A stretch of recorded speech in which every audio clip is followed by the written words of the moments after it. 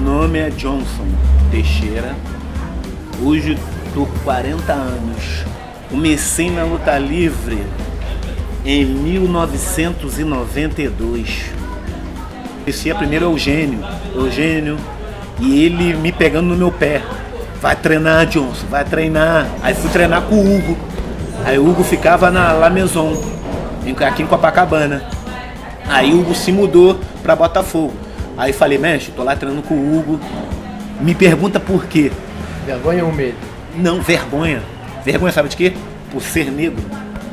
Por quê? Por ser negro. Aqui no Brasil, as pessoas tinham olho desconfiado. Eu era moleque, eu tinha 17 anos. E eu tinha medo de entrar. Eu falei, cara, não vou entrar não, vou pensar que eu sou ladrão. O pequeno foi pro Japão, finalizou o cara tudo. Eu falei, não, vou treinar, vou treinar. E aí, com, com o mundo dá a volta, aonde eu fui parar? Você me cobrava, Johnson, a gente quer treinar, a gente quer treinar, nós queremos treinar. Aí eu pensei, falei, pô, cara, não posso dar aula ainda, sou faixa roxa. Pra dar aula pra mim, faixa marrom, faixa preta. Pra você ter uma experiência, a visão de ver onde vai machucar a criança, de conversar com o garoto. Não é só dar aula. Você tem que conversar, entender o ser humano, ainda mais uma criança. E dali eu comecei.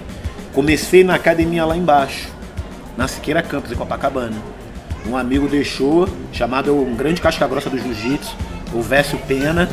Ele, John, essa academia é sua, pode trazer os garotos. Ali comecei o projeto. Isso começou o projeto em 2002. Nós queremos fazer. Aqui no Brasil não temos apoio. Temos que querer e gostar do que nós fazemos.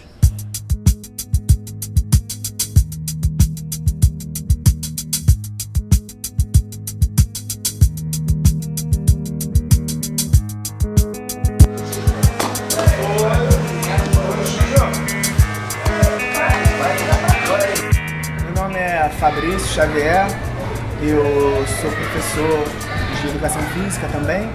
Pequeno interesse pelas artes marciais, fiz karatê, treinei alguma coisa de judô e quando eu mais velho, 95 mais ou menos, 96, final de 95 para 96, eu conheci a luta livre. Eu comecei a, a praticar também a, a, luta livre olímpica, né, a wrestling e também eu comecei a me identificar muito com a luta, com a forma de complementar a, a carência que nós tínhamos ali, a defasagem em relação à parte de queda.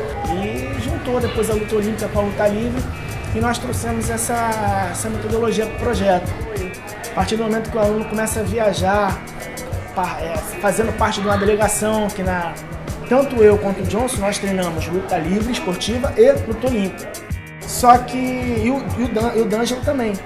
Só que aí cada um foi indo um pouco mais para um lado. Eu fui um pouquinho mais para luta olímpica, não abandonando a luta livre, que é também a minha paixão. E, e indo um pouco mais para luta olímpica, o Johnson foi indo mais um pouco para luta livre esportiva e o D'Angelo um pouco mais para jiu-jitsu. Mas que todos treinam um pouco de tudo. O Johnson treina jiu-jitsu, eu treino jiu-jitsu, a gente treina luta olímpica, treina luta livre. A gente mistura isso tudo e tá dando certo.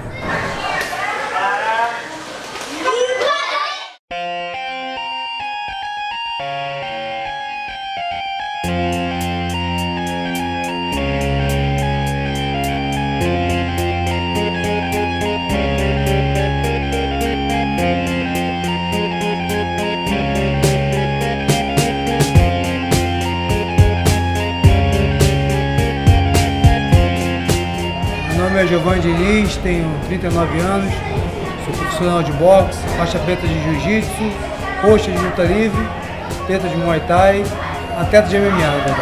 Sim, sou treinador da Nova União, de boxe, na parte de boxe, de onde eu vi minha, minha modalidade de luta. Convidado para participar dos treinamentos deles lá.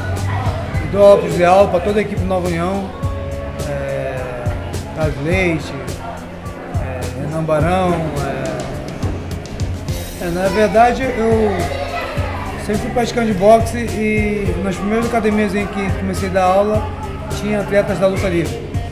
E assim me interessei por, por começar a praticar a luta livre e observando também, no meu ver, que a luta livre seria o esporte mais próximo do MMA por não ter o kimono. Como na luta de MMA não tem kimono. Esse foi o primeiro projeto que já tem há oito anos aqui na comunidade ficou. todos os projetos que vimos aqui que foram que colocaram é, não duraram nem anos. E aqui, na verdade, eu mesmo já tive condições de, de ver alunos, né, se afastarem um pouco, já está quase envolvido com, com, com tráfico. E graças a Deus consegui resgatá-lo novamente, como muitos aí que eu tinha